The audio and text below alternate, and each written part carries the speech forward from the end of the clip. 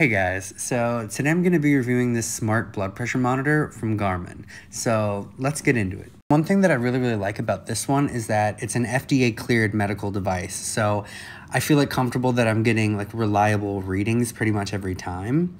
And I also love that it's really, really easy to use.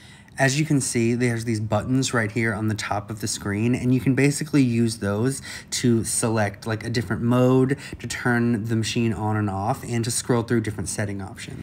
And then on the back of the device here is where you can see this cuff. And I really, really am happy with this cuff. It's a really, really high quality material and it's super easy to use. You can just slip it on your arm really, really easily. So yeah, I would say if you guys are looking for a great blood pressure monitor, definitely check this out by Garmin.